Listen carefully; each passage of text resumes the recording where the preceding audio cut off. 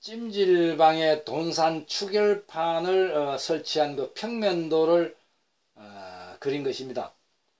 어, 이것은 그 어, 토굴 속이나 뭐 봉토 건물을 어, 지어 가지고 찜질을 할 경우에는 어, 이렇게 그 위에 무거운 그 흙이 덮이기 때문에 그 토합의 하중을 버티내기 위해서는 이 도움형이 좋은 것입니다.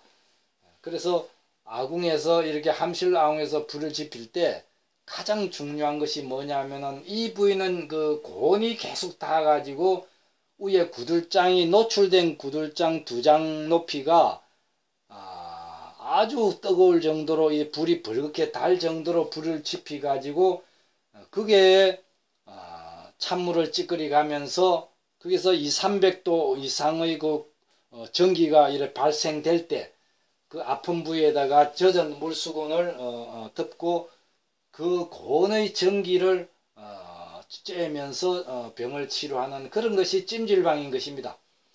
그래서 일반적으로 그 어, 속에 들어가 가지고 그 어, 땀을 뺄 정도 같으면은 그렇게 어, 불을 많이 안 지피도 되고 또 노출 어, 찜질방을 어, 하지 않아도 되는 것입니다. 그래서 어, 그냥 흙미장에다가 뜨거우니까 거기다가 이제 소나무 이파리 마른 거를 어, 한 10cm 내지 15cm 깔아가지고 땀이 예, 밑으로 젖, 젖은 땀이 내려갈 수 있도록 그렇게 한 뒤에 그냥 땀만 뺀다 하면은 한정막식으로 만든다 하면은 그건 아주 쉬운 것입니다.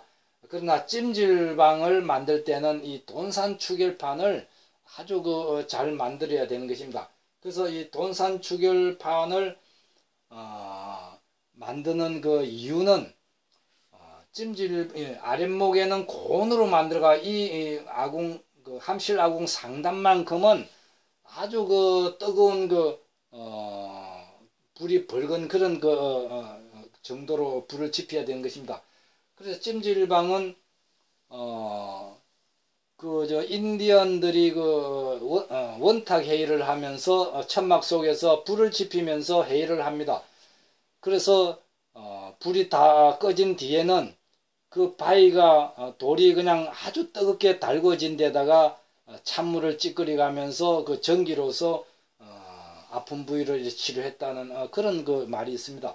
그와 같이 찜질방하고 한정막은 다른 것이지만은 찜질방이라는 것은 아궁, 아궁 위에 직화식 바로 그 불이 어, 어, 고열을 발생시키는 그곳은 아, 구들장에 붉게 달 정도로 만드는 그것이 어, 찜질방이다.